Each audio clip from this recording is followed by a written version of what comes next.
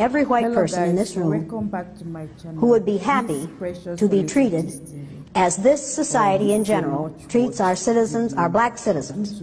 If you, as a white person, would be happy to receive the same treatment that our black citizens do in this society, please stand.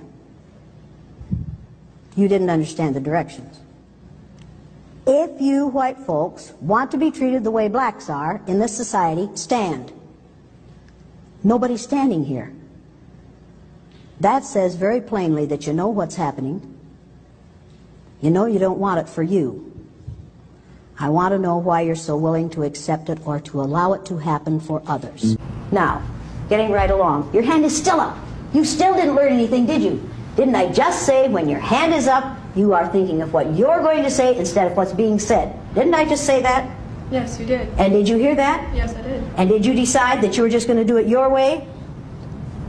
I was. Wait a minute, you were on a roll yes, there for I a minute. Did. Thank you very Yes, much. I Now- did. Now, since you choose to not listen to others, what do you suppose we're going to do where you're concerned? No, listen to me. Thank you very much. May now, I now, saying, no, please? because you're still thinking of what you're going to say instead of what I'm saying.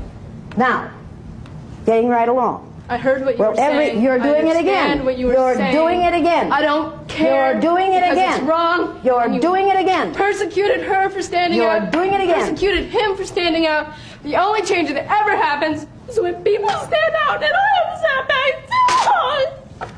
Martin Luther King Jr. was shot. Are you in any physical danger here?